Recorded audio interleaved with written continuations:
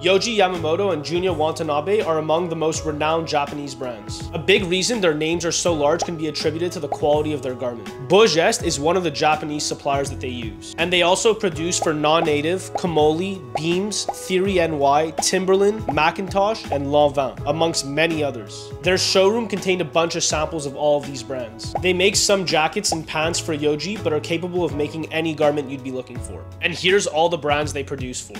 Here's Kiyofumi's direct contact. Please be extremely respectful and patient when reaching out. And if you're looking for other Japanese suppliers, I've visited many of them in Japan and added them to my Patreon. Link is in bio.